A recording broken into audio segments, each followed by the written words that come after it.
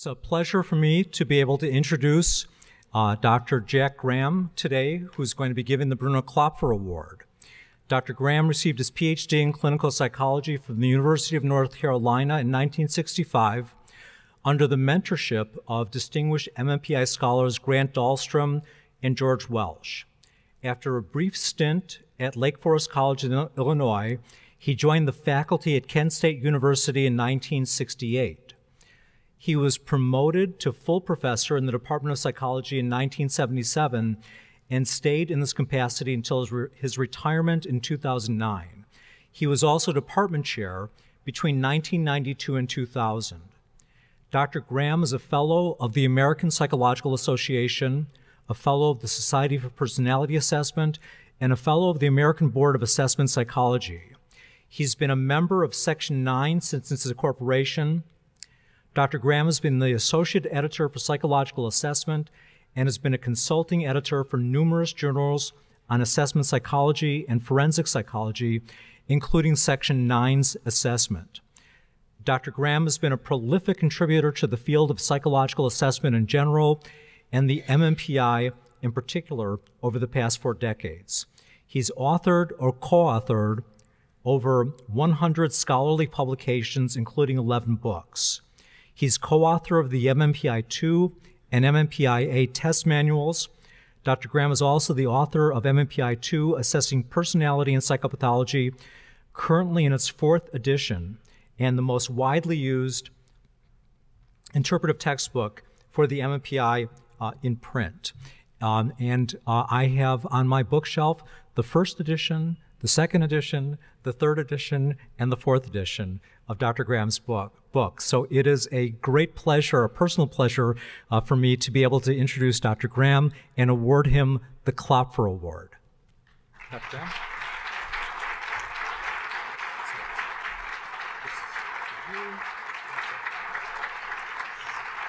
So, so, yes.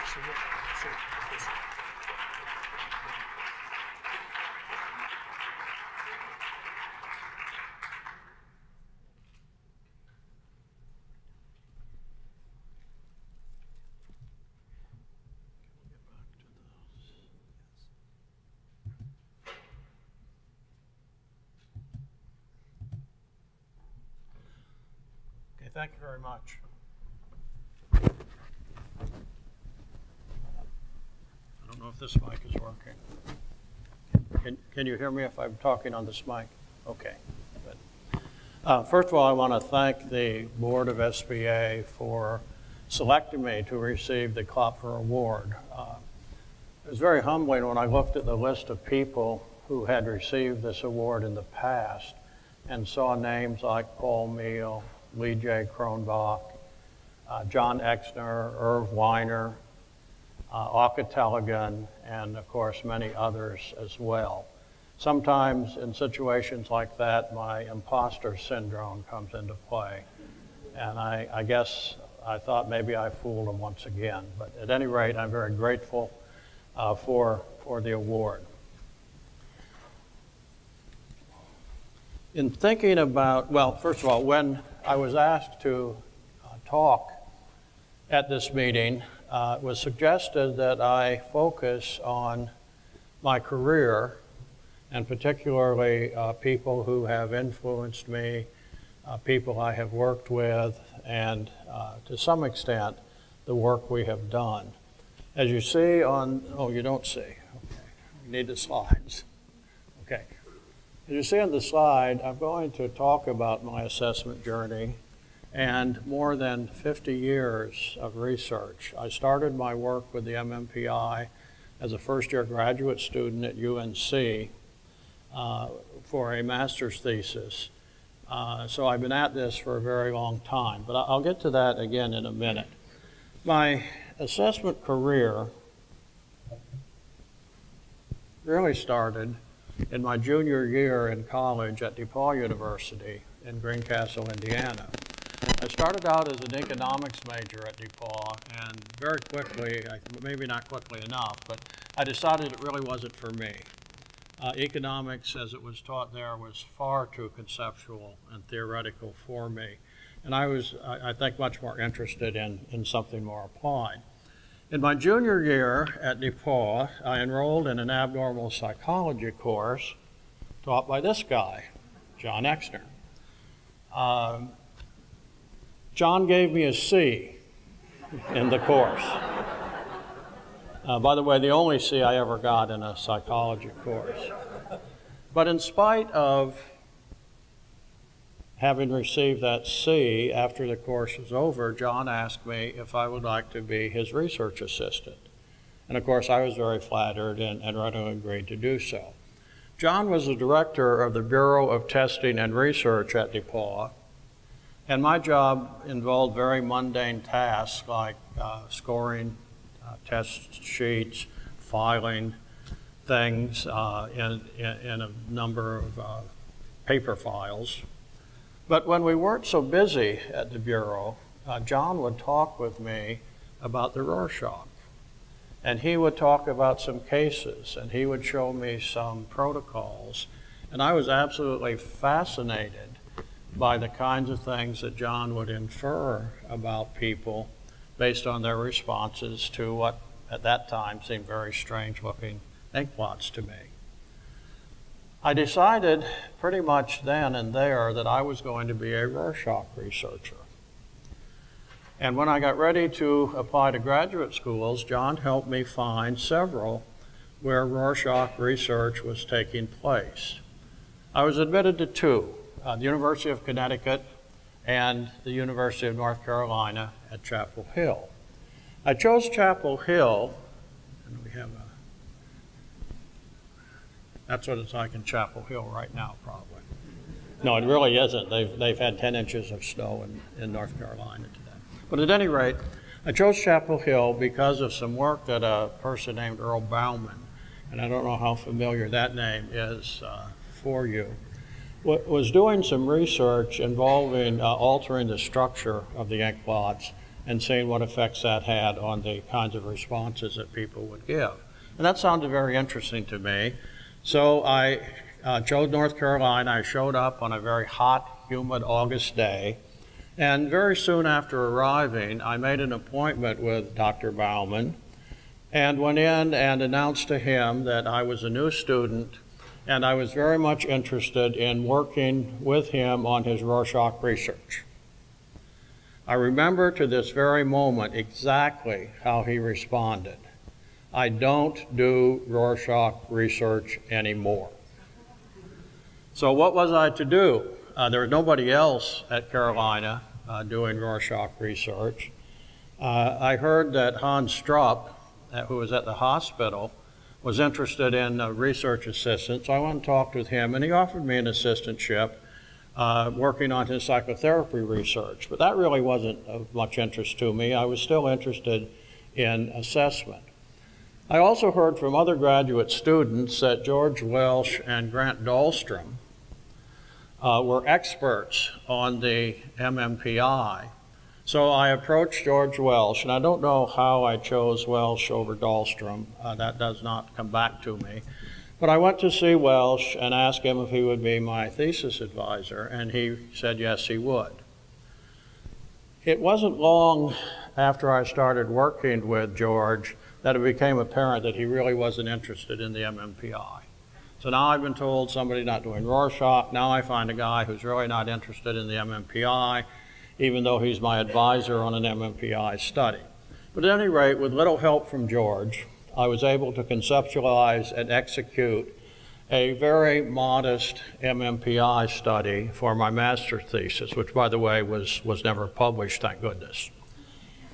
Uh, at Carolina, at the time, the typical procedure was for clinical students to go off campus and do a year long internship doing their third year of graduate school, and then return to campus in the fourth year to complete a dissertation. So that's really what I had in mind. But about the time that I was thinking about internship, uh, Dahlstrom, uh, uh, who had agreed to be my dissertation advisor, came to me, and I think I have a not very great picture of Grant, but uh, uh, came to me and said, Would I like to be a test case for a new program that the department was considering? I would spend two years on internship instead of one, but during that two year period, I not only would get the clinical experience associated with internship, but I would be given time and resources to complete a dissertation at the hospital. And I thought that sounded like a pretty good deal, so I agreed to do that and uh, then moved from UNC Chapel Hill to the Salem uh, VA hospital. Although Dahlstrom was my official advisor of record, uh, he really wasn't the most influential person in my research training. Uh, that person was a guy named Bill Eichman, which probably is not a familiar name to most of you. Uh, Bill had done some factor analyses of the MMPI by hand back in those days. Uh, and so he was interested in what I was doing. I, I, did not do factor analysis by hand, by the way. So uh, Eichman was my day-to-day uh, uh, or supervisor of my dissertation, was very helpful. And the program worked, at least for me, in that by the end of two years, I had completed an approved internship and I had defended my dissertation and was on my way. After a brief stint at Lake Forest College, as mentioned earlier, where I taught undergraduates and did some student counseling, uh, I decided that that setting really wasn't for me and that I wanted to be in a place where I would have more time for research and where I could mentor graduate students. So in 1968, I took a job as an assistant professor at Kent State University uh, in Ohio and have been employed there ever since. Uh, I retired from psychology in 2009. I finished up six graduate students who were in the pipeline and thought then I would be retiring. I guess I wasn't really ready for retirement because when asked if I would become the interim dean of the College of Technology, of all things, I agreed to do that while they searched for a permanent dean. Of course, I knew nothing about technology, but I survived. I then took on some several other positions in the College of Public Health, and right now I'm the Associate Dean of the College of Public Health at Kent, a position which I will be ending at the end of June when my wife Marianne and I are both finally going to retire uh, from the university. So that is uh, the, the assessment story to date. Now, a couple important things happened uh, while I was at Kent that had a large influence on my career and the uh, kinds of research that I would be doing for the next X number of years. Jim Butcher, who I think many of you know, was a classmate of mine at UNC a year ahead of me, and he had taken a job, a faculty job, at the University of Minnesota. He called me one day and asked if I would get involved in a program that he had started which would be a symposium, a research symposium about the MMPI, and also a, uh, some workshops because he found out that even in Minnesota, people didn't really know all that much about the MMPI. So uh, Jim and I worked together uh, on the uh, symposium workshop for, for many years. And when uh, Jim decided that he no longer wanted to have a leadership position, uh, several of us uh, took over the uh, leadership roles. Joseph Ben Porath and I assumed the uh, coordination of the workshops and symposia, uh, and we had support, very good support, from the University of Minnesota Press and the test publisher, who at that time was National Computer Systems, and of course now is Pearson Assessments. These are the characters that carried on the symposium and workshop after Jim stopped. Uh, I think you know probably most of these. This is Yossi in the upper left, Paul uh, with a drink in his hand in the upper right, Auke Tellegen at the left, and then of course uh, I'm at the bottom right. Uh, we also had help from others, uh, but we were the regular staff of the uh, program. But we had help from other people uh, eventually, like Dustin Wygant, Martin Sellbom, uh, John McNulty, and, uh, and others would come in and do a piece of the program at the annual meeting. I'm happy to say that the workshop and symposium program has continued to date, and we are set to celebrate our 50th meeting uh, in Minnesota the first week in, in June. So that's uh, a, a lot about my career. Now, what about the research? 50 years worth of MMPI research. Now, you might ask, how could a young man like me possibly have been doing research for 50 years? Well, the answer is quite simple.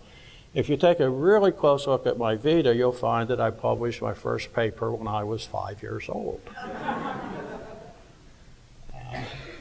so that accounts for that. But at any rate, in trying to figure out what I wanted to tell you about MMPI research that, that I've been involved in, um, I, I need to first, I'm sorry, I forgot one thing. I need first to tell you about something else that happened at Kent that was very influential in my career. In 1990, the Department of Psychology at Kent was recruiting for a clinical faculty member uh, for the department. Uh, I had met Yossi Ben Porath when he was a graduate student working with Jim Butcher and doing some of the analyses on the MMPI restandardization project. Uh, I asked Yossi if he would like to apply for the position, and he agreed. We had to lie a little bit to the department because they didn't want two MMPI people in such a small department. So we misrepresented a little bit what his interests were, telling them that he was interested in stress and coping, which you know, wasn't a total lie. But we downplayed the MMPI stuff uh, rather well. And Yossi was hired and came on board in 1990. Uh, shortly after uh, Yossi arrived, uh, he and I started uh, research collaboration, established a personality assessment lab at Kent State, which really continues to this date. We have uh, had quite a number of students, uh, postdocs uh, come through the program, and some of those I see in the audience today, and they, of course, have moved on to their own careers in personality assessment. So what do I want to share with you about the actual uh, research that we have been involved with uh, over the years? We've done a lot of things, uh, quite a variety of things, in fact. We've done studies on the characteristics of pathological gamblers. We've uh, studied uh, uh, therapeutic assessment using the MMPI 2RF. We've studied marital counseling using the MMPI. So we've done a lot of things. But as I looked over the yellowed copies of reprints, and some of you young people probably don't know that we used to actually buy paper copies of our articles and keep them, and people would request them, and we'd send them out in the mail. Now, of course, you just you have immediate access to these uh, via the internet. Uh, but at any rate, as I looked through uh, the, the reprints of our studies and thought about what we had done, I decided that I would try to focus on three questions that seem to persist through the years and guided to a large extent uh, what we uh, would be researching. Uh, the first of these uh, is are there reliable and meaningful correlates of MMPI-2 scales and configurations that apply across settings. The second are the MMPI-2 scales useful with persons whose backgrounds and cultural experiences are different from those used in the development of MMPI scales uh, and the norming of the test. And then finally, how effectively can the MMPI instruments detect persons who take the test with the intention of presenting an unrealistically favorable impression of themselves. So I'm going to focus in the time that I have on these three questions and share with you a little bit about we, what we and others have done to try to answer those questions. And so this is the first question. Are there reliable and meaningful correlates of MMPI 2 scales and configurations that apply across settings. Uh, we need to back up a little bit and give you a little bit of history that uh, led us to uh, investigate this research question. Uh, Hathaway and Meehl uh, developed an atlas that probably was Hathaway and, uh, McKinley. Then it, would Paul, you know? Doesn't matter. Uh, developed an atlas for clinical use of the MMPI, and then later Hathaway and Monachesi developed an atlas for use with adolescents uh, for MMPI interpretation. These were not really empirical uh, works as such, but what they were were compendia of clinical information about uh, patients or clients or adolescents who produced a particular uh, configuration of scores on the MMPI scales. Uh, so uh, th there would be a number of cases reported. They would uh, extract the salient characteristics of people who produced those configurations. And it was really seen as providing clinicians who would use the MMPI with a, a, a, a database where they could be reminded of what other patients and, and clients were like who produced a particular configuration that their uh, current client or patient uh, had produced. In 1954, I'm sure you're all aware of Paul Meehl's book, Clinical versus Statistical Prediction. Uh, it was Meehl's contention that using formulas and classification tables and, and other actuarial and uh, empirical data, one could interpret psychological tests, particularly the MMPI, better than a clinician could do simply by looking at the profile and coming up with some inferences or predictions. Uh, followed that uh, book with a, an American psychologist paper in 1954, where he made a plea for a good cookbook for psychological test interpretation. Uh, his plea was answered by a number of people, and I've listed just a few of the code books here that were a result of Meehl's uh, suggestion. Oops, sorry. We have Drake and Oetting, uh, going the wrong way. Uh, Good and Brantner, Marks and Seeman, Gilberstadt and Duker. I don't know if you're familiar with any of these works. Some of you may be, some may not. But the idea here is they presented uh, classification data that would allow you to uh, determine uh, what uh, kind of MMPI protocol a particular uh, client or patient or even non-client or non-patient produced. And then you would look up in, the, in their books and you would find the scores, configurations of scores of your client, and then they would present you a good bit of uh, information, uh, much like was presented this morning from my book on the 2332. Uh, those were alleged to be strictly empirical uh, correlates for configurations, but in reality, uh, they weren't. There were some data generated, but as we look very closely later, Yossi and I, at the code books, particularly the Marks and Seeman, it was very clear that they did some cherry picking from their data. Uh, they pulled out things that were consistent, I think, with their preconceived notions about what people should be like, and they totally ignored other data from their own research that would have added correlates that they didn't think belonged there. So for example, for those of you who are MMPI literate, uh, they had a 4994 kind of uh, profile.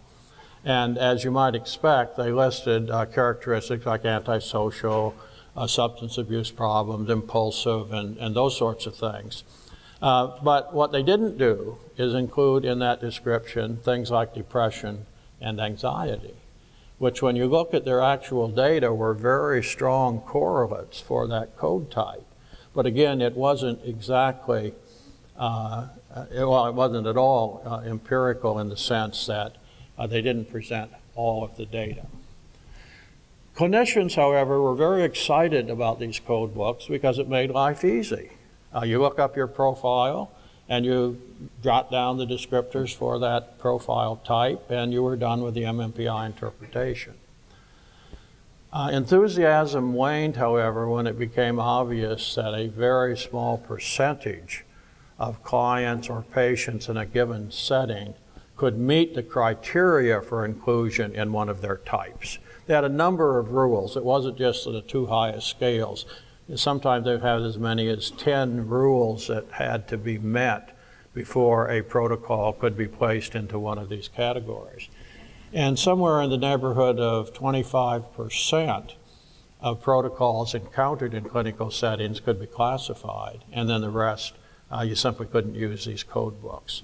So there then began a uh, sort of a resurgence of interest in looking at behavioral correlates of the individual scales and trying to build some construct validity for each of the scales by doing research that would inform us about what people are like who uh, produced a level of score on a particular scale or who had a configuration of MMPI scales. And, and that's really uh, what led us into our uh, research on correlates, and particularly the notion of if they applied across settings. You know, if uh, people uh, with high scale 2 scores were depressed in a mental health center, were they also depressed in an inpatient setting or correctional setting and what have you. And I think it was uh, this work, as well as the empirical tradition, that was passed down from Hathaway uh, to Dahlstrom to me and then to my students uh, that led to our emphasis on this particular research. Uh, along with uh, Yossi Ben Porath, uh, we were able to collect four uh, significantly large data sets that included MMPI-2 data as well as external criteria generally provided by a therapist or some other uh, mental health professional who knew the particular individuals very well. So you can see some of these are really uh, quite large. Uh, we had over a thousand uh, protocols from the uh, Portage Path Community Mental Health Center. Uh, we had uh, 600 from the Atlanta private practice. Uh, these were uh, psychologists in the Atlanta area who provided us with MMPI-2 data on their therapy clients and then also provided us descriptions of those therapy clients. And in all of these data collections, the, the persons providing the external criterion data that we would compare with MMPI-2 scores never had access to the MMPI data for the client. So they were blind to the test results. Uh, we've used these data for a, a, lot of studies, even though we initially thought of it as an empirical, empirical correlates uh, approach. Uh, the, the, these data have been used by a lot of people at a lot of places. Uh, and, uh, you know, I think it really points out how difficult it is to get good clinical data sets, particularly sets where you have something, some information about the test taker that is independent of the test scores. Uh, but we did follow through with our notion of looking for correlates across settings. And this, I won't take you through all of this, but these are the uh, strongest relationships with external criteria for each of the uh, clinical scales. And I don't know if you can really see this very well, but I'll help you here. So for example, for scale one, the uh, hypochondriasis scale, across all four settings, you really see that the that somatization, health concerns, health problems uh, really uh, were present uh, across all four of the settings. If you look at scale two, the depression scale, you see that uh, some form of depression is present across all of the settings. Depressed, depressed, depression, lacks energy, sad, and blue. Scale three, of course, overlaps very significantly with uh, scale one, so the correlates there are virtually the same. We get a little bit uh, less uh, consistency if we look at scale four. Uh, this, I, I have never understood why inpatients high on scale four were rated as not being grandiose. I'll, I'll tell you what I think in a minute. Uh, also, we got depression and psychoticism in the outpatient sample. Private practice, we, we, we did see depression. Uh, I'm, I'm sorry, antisocial, and with the normative sample getting in trouble with the law. Uh, I won't go through all the rest of these, but you get the point here is that for, for each of the clinical scales, the external correlates of those scales were very consistent across these very different kinds of, of settings, which lends us uh, some confidence when we see a particular elevation uh, that the characteristics we're going to attribute uh, to that elevation uh, are, are probably going to hold regardless of the setting in which the test is taken. Now, if we can back up for just a moment, you'll see, I'd like you to see something else in this table. Look at scale one. We had, sorry, we had somatization across the board, but look at, we have hallucinations in the inpatient, we have depression and anxiety in the outpatient, we have anxiety and depression in private practice, uh, and pretty much in the normative sample. And I really need to back up and tell you a little bit about this normative sample. As part of the development of the MMPI-2, we collected normative data from across the country. And for a significant number, actually 822 individuals, also had their spouse come and participate in the data collection. And we had the partners, they're usually spouses, but the partners uh, rate each other on a number of symptoms, problems, behavioral characteristics without knowing what the other one was doing. It's kind of interesting. I was involved in some of the data sites, and the partners were very much interested in what their, their partner was saying about them. What is he going to say about me? So we, oh, sorry, we put them in different corners of the room so they absolutely couldn't be influenced by the other person. Uh, so what we're seeing here, if we keep going, is that you're seeing anxiety and depression uh, pretty much across the board on all of these clinical scales. And so what, what, what we're really seeing in these data is, first of all, that the clinical scales seem to have very good convergent validity across settings. You know, people high on scale one are really uh, somatically uh, preoccupied and, and, and so forth. And that's evidence of convergent validity. That is, we're getting correlations between the scales and the external behaviors that are conceptually relevant to the scales. But what we're also seeing here is the absence of very good discriminant validity. We're seeing correlations between the scales and the external behaviors that really aren't all that conceptually relevant to the, uh, to the clinical scale.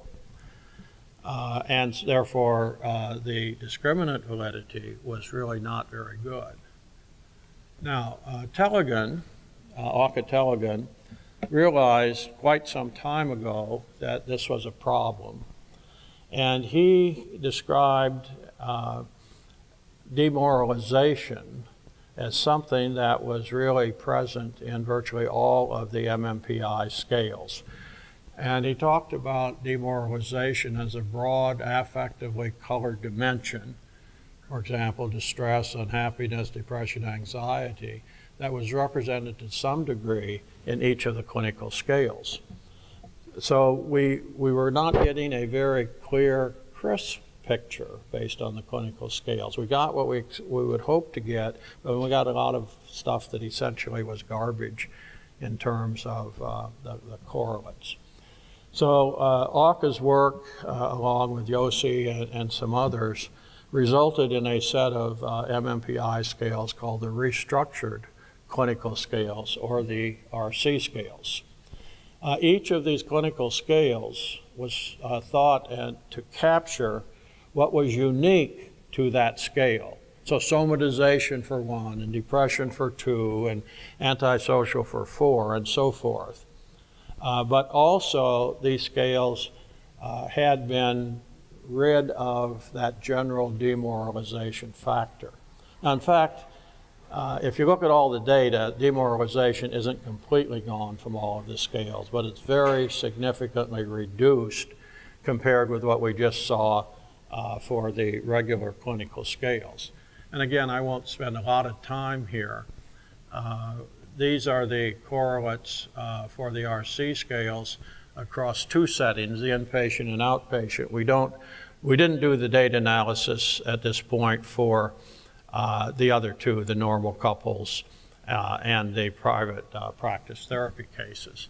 And once again, what you see, what you see here is that the uh, correlates that you would expect and hope to see based on how the scales were uh, developed really do appear. You get somatic stuff on scale one and depression on two.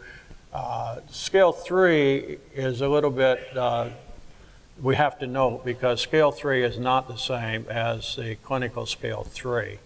Uh, and his colleagues noted that uh, the scale was very saturated with somatization type uh, items. Uh, and there was no need to measure that again since it was already being measured in scale one. So those somatic items were taken out of the scale and the items that were left were actually flipped in scoring direction from how they were scored on the MMPI, so that the items, if endorsed in the score direction, are indicative of, of cynicism. And you can see the correlates here, uh, at least for the inpatient sample, are uh, what we would expect. Uh, and we can go on with scale four and six. Uh, now, again, you see there's still some demoralization in these scales in some settings. There's still depression and anxiety, for example, with scale four, which is an antisocial scale. But if I had the correlations here, and I now regret I didn't uh, report them, you would see that the correlates of those uh, non-conceptually relevant behaviors are very much reduced in the RC scales from what we found in the uh, clinical scales. So what does this all mean? I don't know how I'm doing. Okay. What does this all mean about the uh, question of are there reliable correlates across settings for the MMPI-2 scales? And I think the answer is yes. Uh, there are some elements to each of the scales uh, that seem to be very consistent from one setting to another setting to another setting. And those, uh, that kind of information can be very useful as you're trying to interpret MMPI-2s in a variety of settings. Okay, the second question, are the MMPI-2 scales useful with persons backgrounds and cultural experiences are different from those used in the development of the test? Early on, with the original MMPI, it, it was noted that members of ethnic minority groups, and particularly early on, that was pretty much limited to black-white differences. Uh, that the individuals, that the black individuals, the minority group individuals score higher than the Caucasian or white individuals on the number of MMPI scales. Uh, there was concern expressed in the literature that this could possibly lead to over pathologizing members of the minority group because of their somewhat higher scores on the, uh, uh, on the clinical scales. Uh,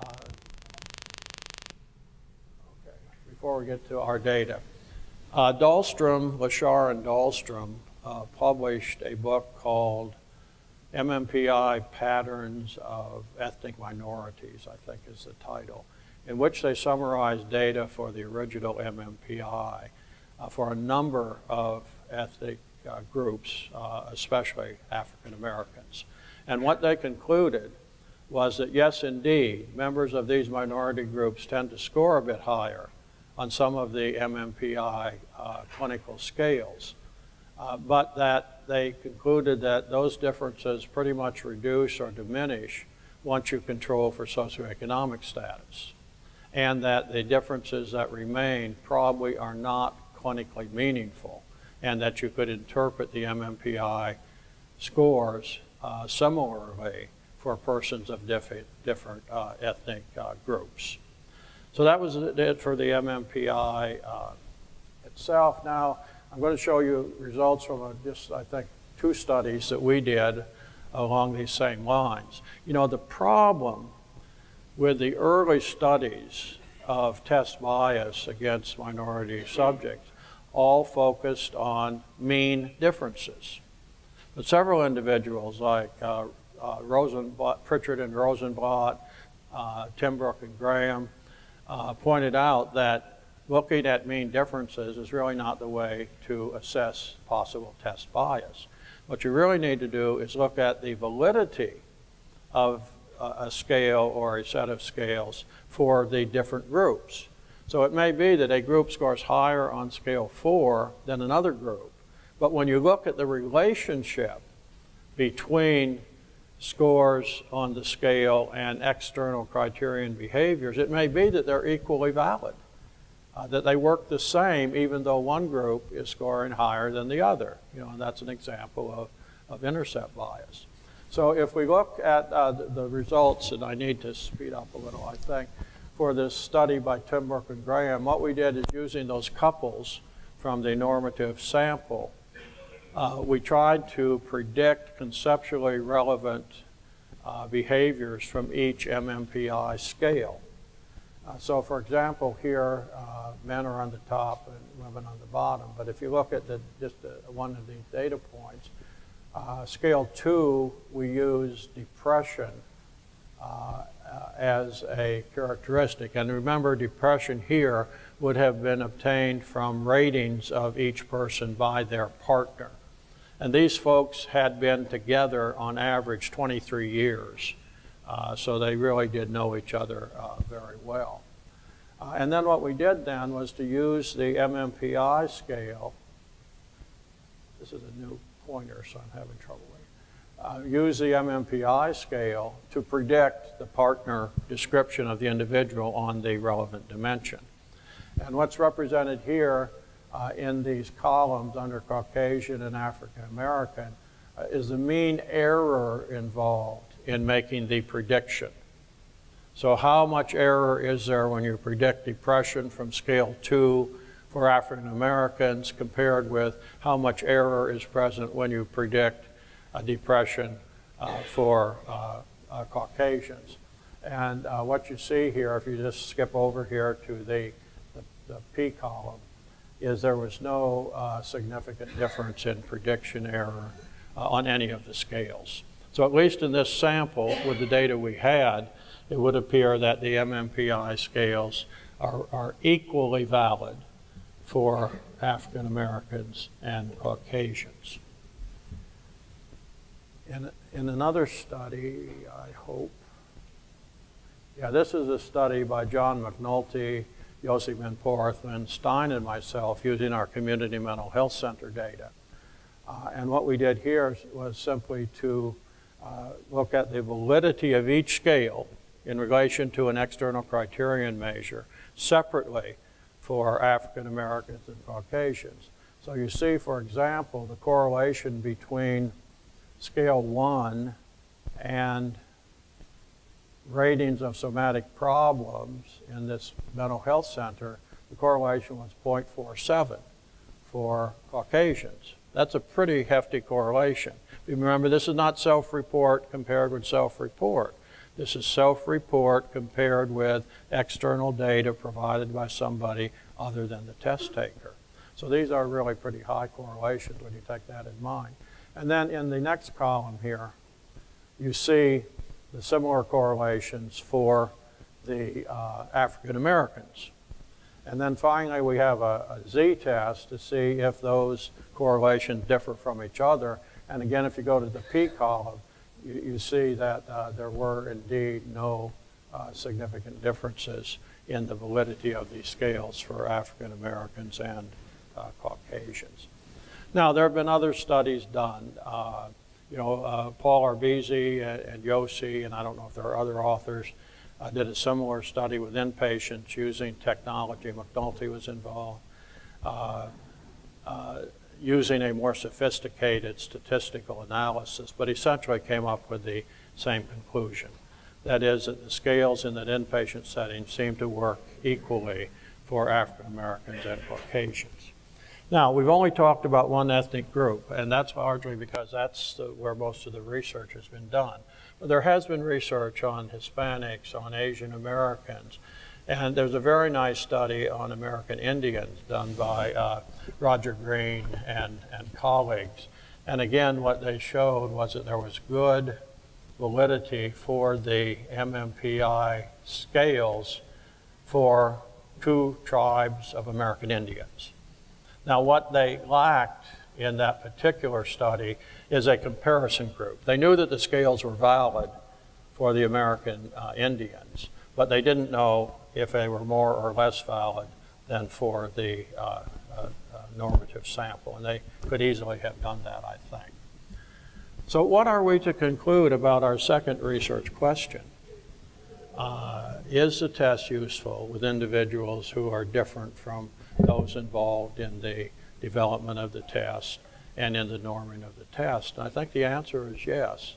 I think the test is equally valid with a, with a caution. You know, we haven't studied uh, every uh, group that we could study. Uh, you know, does it work the same for priests versus a normative sample?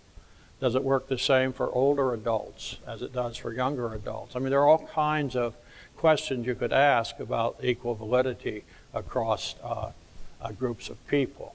In that vein, I would point out that Kathy Long and I uh, did a study, uh, actually two studies, in which we showed that the MMPI scores were equally valid for individuals of different educational levels, comparing those with uh, high school or less with those with professional degrees work the same, and also for family income. Uh, those with lower family income were compared with those with higher family income, and the validity of the scales across those indicated very similar validity. So while there's work yet to be done, uh, I think that I am fairly confident in uh, interpreting MMPI scores uh, similarly for uh, members of uh, diverse groups. Okay, and then finally, we have our third question. How effectively can the MMPI instruments detect persons who take the test with the intention of presenting an unrealistically favorable impression? I'm sure you all can think of situations where this would be uh, possible or even likely. Uh, for example, if someone's involved in a personal injury lawsuit, they might be motivated to present themselves as having more both somatic as well as psychological problems than they really have in order to get a better settlement or a better verdict in the lawsuit. Uh, individuals who have committed crimes and are claiming they should not be held responsible because of insanity might very well exaggerate uh, problems uh, uh in order to have uh, them held not responsible. The MMPI 2 has a number of scales that are intended to uh, identify people who approach the test in this manner.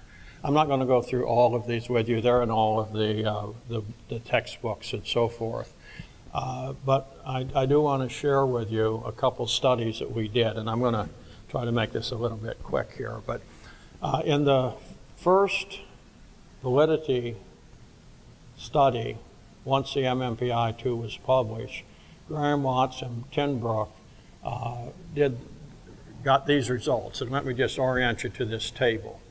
Uh, what we have in the upside down triangle profile are the results of Kent State students who took the test with standard instructions. And of course, they look uh, reasonably normal. We then had a, another group of Kent State students take the test with instructions to try to appear to have very serious psychological and emotional problems. And the results that you see here in the open circles uh, indicate that those students actually produced very elevated scores on the clinical scales, especially on those in, indicative of psychosis and other serious problems, and look at the uh, F score. It's, it's as high as you can get on the test. And if you compare that with the triangles, you see that they're very different. It would be very easy to distinguish between a student taking the test with standard instructions and a student taking the test with instructions to appear very emotionally disturbed. But that's not what we usually want to do. We want to know, we want to say, is this person similar to individuals who actually have serious psychological emotional problems? So this third group, represented with a closed circle, uh, are scores for a group of psychiatric inpatients in a reasonably long-term facility.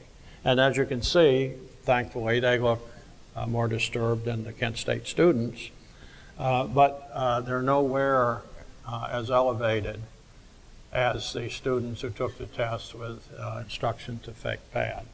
I, am not presenting uh, classification data, which we have in our article, but what those data show is that we can very effectively separate out those individuals feigning serious psychopathology from those who have serious psychopathology. Now, in another study, well, let me uh, talk about this first. As the MMPI 2 and now the MMPI 2RF are being used in forensic settings, we have to wonder to what extent the individuals taking the test have been uh, coached or informed about how to take the test, how to beat the validity scales. So in this study, uh, uh, Corrigan and Wetter surveyed a, two groups of attorneys. They only differed in terms of how often they did uh, cases where it would be likely that their clients would take psychological tests, and a, a group of uh, law students. And, and these data are for a question that asks, to what extent uh, do you feel that it is your responsibility to always or usually inform your clients about the validity scales of tests they're taking? And as you see, almost half of the attorneys feel that it is their responsibility to do so, and about a third of the students feel that it was their responsibility to do so. Now, we don't know how many of these folks actually do this. This is what they say, but we don't know what they do. And we also don't know how many of them know enough about the MMPI 2 that they could effectively coach uh, individuals so that they would not be detected as over-reporting. But the mere fact that they feel it is their responsibility causes us to uh, have concern uh, about over-reporting uh, in uh, these kinds of settings. So this is the last study I'm going to show you. This was done by uh, Joanne Storm, one of my former students and I, uh, in which we have, again, three groups. The, the triangle group is again from our inpatient setting. Here we go, here, here, here, here, here. And as you can see, uh, and these were patients who took the test with standard instructions. Uh, and as you can see, they elevate on clinical scales, as in our other study, and they elevate uh, to some extent uh, on the uh, F scale. Uh, not graphed here are FP scores. Uh, which uh, were also uh, high in this setting and actually a little bit higher than the F scale for the patients. And then the other two groups, we had a group of, uh, you know, I, I have this uh, legend up here called uncoached malingerers and coached malingerers. I don't like that term. I don't like the term malingering because you can't really infer malingering from a psychological test. You have to know more about motive and circumstances. So I would prefer the term, if I were doing this over, uh, uncoached over reporters or coached over reporters. Now, the uncoached uh, over reporters are, are, very similar to the previous study where uh, students were asked to take the test and try to uh, appear to have serious psychological and emotional problems. And you can see again that they produced very elevated scores, much, much more elevated than the, uh, the actual psychiatric inpatients. Uh, so uh, again, we think that this would, uh, and if you look at the classification data, I think you would conclude that we're pretty effective using F and FP in discriminating between real patients and individuals who are over-reporting psychopathology. Now, the third group is the one that's different from the other studies we had done, and these are the coached malingerers, and they're represented by the uh, open circles. Okay, here, and then this group here. So what you can see again, and what these folks uh, were told is first of all very similar to the other group. We'd like you to take this test and pretend that you have very serious psychological and emotional problems. But for this particular group, we did some coaching. We gave them some tips on how to take the test so people wouldn't be able to know that they weren't being truthful and didn't really have the uh, problems and symptoms. And they were very simple tips, things like uh, don't answer too many extreme items. Don't answer the very bizarre items on the test. Very, very simple uh, uh, instructions. And uh, what we found then, of course, is that the coached group produces less elevated scores, not only on the clinical scales, but also on the validity scales. But even then, you see that the coached group is significantly higher than the, the real patients. So although our classification data would suggest we are less able to identify the uh, coach malingerers, we can still do so at a, a pretty good uh, accuracy rate. So then what does this tell us about the question of whether the MMPI-2 can detect these individuals who are uh, purporting to have very serious psychological and emotional problems. I think what it tells us is that uh, we, we can do that pretty effectively. Uh, if people are over-reporting uh, traditional psychopathology, uh, we can pick them up pretty readily on the F and the FP scales. Uh, if they are coached, if they are told how to not be detected, it's a little bit harder to do, but we still do it with pretty good accuracy. Now, both of these studies use students who were told to over-report pathology. And that may not be the most ecological uh, group to use uh, for this purpose. Arbisi and others, and I apologize, I don't know all the others. I know Ben-Porath was in that, that group. And McNulty again, Three Stooges maybe uh, did, did a very similar study to this with uh, psychiatric inpatients who were asked to over-report uh, their own psychopathology and then compared them with the patients who took the test with standard instructions. And they really got results very, very similar to us, with FP really working the best in, in that particular setting. So I'm pretty confident uh, that uh, the test can provide information about over-reporting. Whether that qualifies as malingering, I don't know. Uh, others have developed uh, scales that are not routinely scored in the MMPI-2, but are in the MMPI-2-RF. Uh, for example, Dustin Wygant and, and Yossi Ben developed a, an FS scale, a, a uh, infrequency somatic scale and that's not the exact name, I apologize, guys, but uh, it, it was a scale designed to detect people who were in personal injury situations and, and were likely to be over-reporting somatic and, and even neuropsychological problems. And that scale seems to be working pretty well as well. And then Roger Gervais and others uh, developed a response bias scale and that was developed specifically in, for situations where people might be over-reporting neuropsych kinds of problems. And that scale has shown some very promising results. So I'm pretty confident uh, that, that we can pick up people who aren't doing what we really told them to do, which is take the test honestly. So where does this leave us? Uh, where is the journey? I've already told you that I'm retiring officially in a few months. Uh, I don't know that that's the end of my journey, but I think the pace will certainly slow. We have a lot of data at Kent that we've collected that we've never analyzed and published. I'm hoping that former students like Tayla Lee, uh, Leslie uh, Hibbing, and, and- others, Will Ajay, who were involved in that data collection will carry on and do some of the uh, same kinds of studies there. Uh, If we look here, these are the folks, I think, who will continue the assessment journey. I don't know how well you can recognize people here, but these are photographs uh, that were taken of uh, Yossi and, and me and our former postdocs and students at various uh, MMPI meetings. So these are the folks, I think, who have the responsibility, uh, uh, along with uh, people like Paul Arbisi, and I think McNulty is in this picture.